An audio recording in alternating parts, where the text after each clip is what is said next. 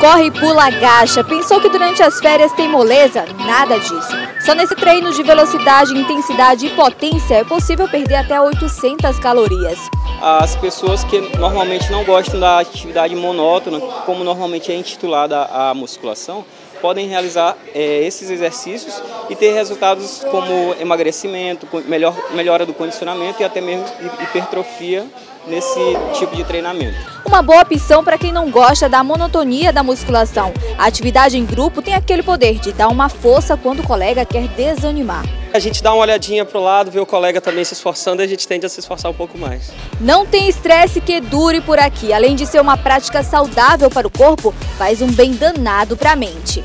A gente vem no dia cansado de trabalho e a gente chega aqui tipo, meio que extravasa, né? E aí não só a questão é, física de você ficar com o corpo legal, mas de você se sentir bem né, e a saúde acima de tudo. A aula com 10 alunos mistura musculação e treinamento funcional.